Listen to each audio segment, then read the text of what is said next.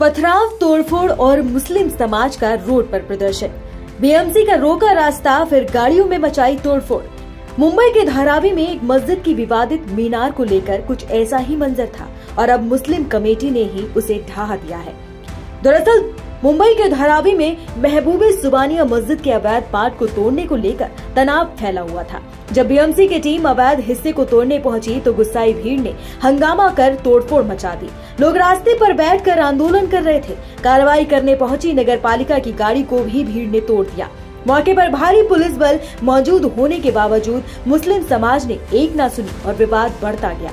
इस मामले में पुलिस ने तीन लोगों को सरकारी काम में बाधा डालने, दंगा कराने और सरकारी प्रॉपर्टी को नुकसान पहुँचाने के मामले में गिरफ़्तार किया था।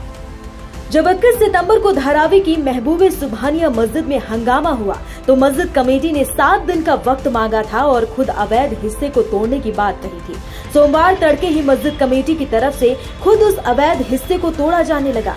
मस्जिद के ऊपर 20 फीट का मीनार का हिस्सा है, जो मुख्य रूप से अवैध है। उस पर ग्रीन कर्टन लगाया गया है। मस्जिद कमेटी इस पर लकड़ी लगाकर उस अवैध हिस्से को तोड़ रही है।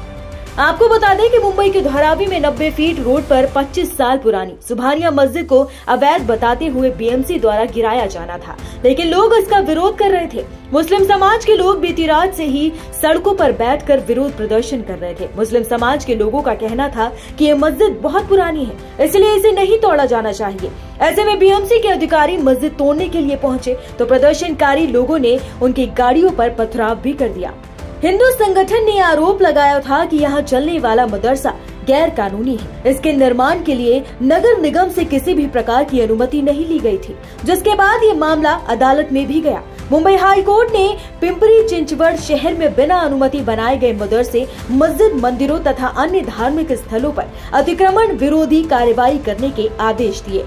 जब ये मामला तूल पकड़ने लगा तो सोशल मीडिया के ज़रिए मिली जानकारी के अनुसार मुस्लिम समाज इकट्ठा हुआ और प्रदर्शन का दौर बढ़ता ही चला गया। अब मस्जिद की कमेटी खुद इस अवैध मीनार को तोड़ रही है।